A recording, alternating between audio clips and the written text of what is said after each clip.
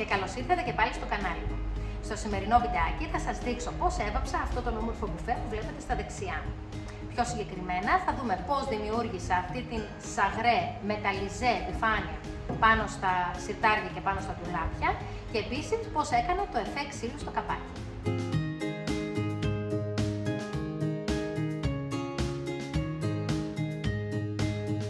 Πρώτα θα φτιάξω μία πάστα με τη σκόνη διαμόρφωσης της Vintage Paint και με το χρώμα που έχω επιλέξει, το Royal Blue, για να το περάσω τα μποναριστά στην επιφάνειά μου για να δημιουργήσω μία σαγρέ παλαιωμένη υφή. Ξεκινάμε με το χρώμα μας. Βάζουμε δύο κουταλάκια του γλυκού μέσα σε ένα κολλάκι και μετά προσθέτω σιγά σιγά την σκόνη διαμόρφωσης. Πάντα βάζουμε το πιο υγρό υλικό πρώτο, γιατί έτσι ανακατεύονται πιο ομοιόμορφα τα υλικά. Βλέπετε πως δημιουργείται μία πηχτή πάστα που έχει μέσα μικρούς κόκκους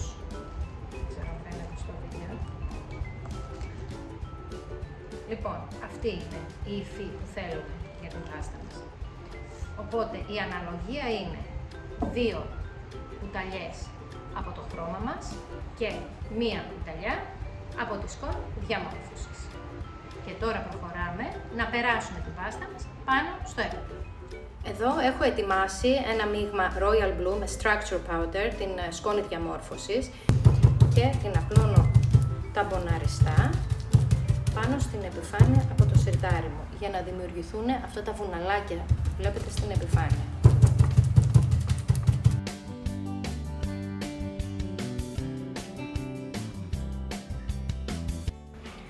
Όσο η επιφάνεια είναι ακόμα νοπή, παίρνω με τη μύτη του πινέλου μου λίγο chocolate brown, το σκούρο καφέ, και το δουλεύω. Το ανακατεύω μέσα στο μείγμα της ε, σκόνης με το Royal Blue για να δώσουμε και μερικές καφές σκιάσεις. Μετά θα προσθέσουμε και το μπρονζέ και θα αποκτήσει ακόμα μεγαλύτερο ε, βάθος η επιφάνεια. Θέλω να βάλω λίγο περισσότερο στις γωνίες για να πλησιώσει το σιρτάρι μου.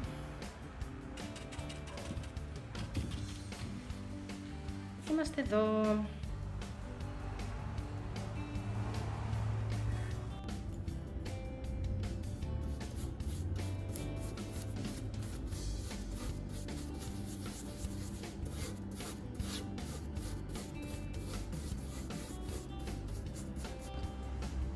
Βλέπετε τη διαφορά σε αυτά τα δύο σημεία. Ενώ αυτό το χρώμα μου άρεσε πάρα πολύ, μου βγαίνει λίγο φωτεινό σε σχέση με αυτό που ήθελα. Εγώ το ήθελα να φαίνεται παλιό και λερωμένο. Οπότε, άμα βάλω το σκούρο καφέ κερί απευθείας πάνω από το σιρτάρι μου, από την επιφάνειά μου, χωρίς να βάλω διάφανο κερί, αμέσως κοιτάξτε πως σκουραίνει και φαίνεται πραγματικά παλιωμένο και λερωμένο. Ακριβώς όπως το θέλω.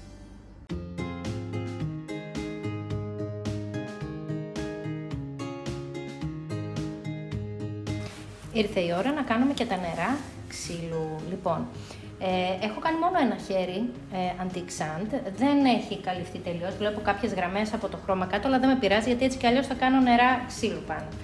Εδώ έχω κάνει ένα wash με chocolate brown, το έχω αραιώσει με νερό, περίπου 50-50. Και έχω και ένα κομμάτι ατσαλόμαλο για να κάνω τα νερά. Λοιπόν, περνάω το χρώμα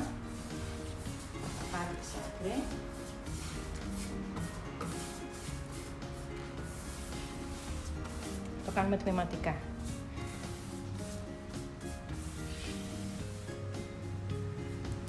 Και μετά με το ατσαλόμαλο σκοπίζω για να κάνει το χρώμα από κάτω.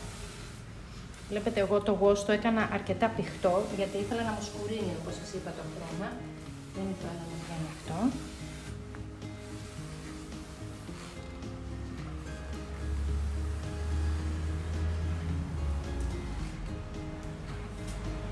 Το πρώτο μου σανίδι, ας το πούμε, είναι έτοιμο.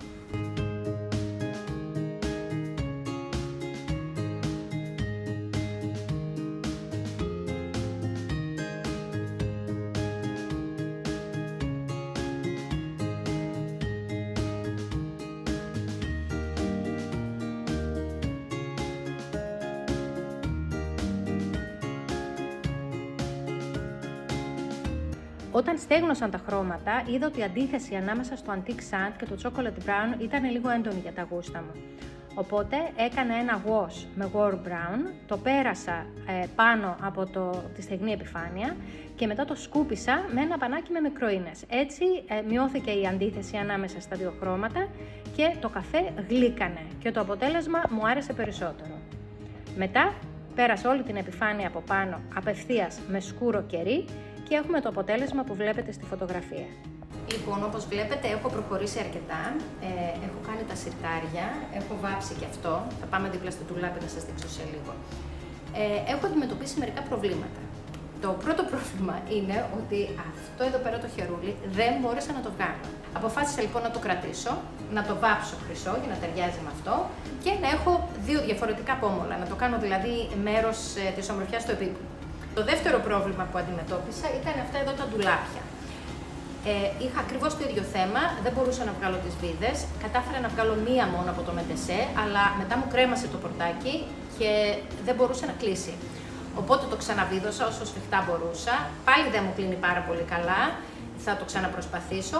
Αλλά το πρόβλημα είναι ότι αναγκάστηκα να βάψω τα πορτάκια πάνω στο έπιπλο. Δεν μπορούσα δηλαδή να τα βγάλω όπως αρχικά είχα στο νόμο.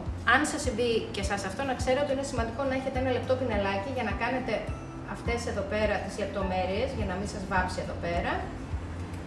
Και μετά να ανοίξετε το πορτάκι για να το βάψετε και από τη μέσα μεριά. Εδώ όπως βλέπετε έχω βάλει και δύο ξυλόγλυπτα, τα οποία τα έβαψα ένα χέρι με το Royal Blue. Και τώρα με τα πορτάκια θα ακολουθήσω ακριβώς την ίδια διαδικασία, την οποία ακολούθησα και με τα σιρτάρια, δηλαδή θα κάνω μία πάστα με τη σκόνη διαμόρφωσης και το χρώμα, θα βάλω μπρονζέ χρώμα, κερί. Και στο τέλος θα δώσω λίγο λάμψη στα ξυλόγλυπτα με μπρονζέ και χρυσό και θα τα παλαιώσω με σκούρο κεράκι. Ορίστε λοιπόν πίσω μου και ο μπουφές ολοκληρωμένος. Έχει βρει πλέον τη θέση του μέσα στο κατάστημά μου. Ελπίζω να σας άρεσε το βίντεο. Αν σας άρεσε πατήστε like. Αν έχετε οτιδήποτε απορίες ή θέλετε να κάνω συγκεκριμένο βιντεάκι για κάποια τεχνική, γράψτε μου κάτω στα σχόλια. Και επίσης θα χαρώ πάρα πολύ να δω και τις δικές σας δημιουργίες στην ομάδα μας στο facebook πώς να το βάψω. Σας ευχαριστώ πολύ που ήσασταν και σήμερα μαζί μου και σας εύχομαι μια όμορφη και δημιουργική μέρα. Γεια σας!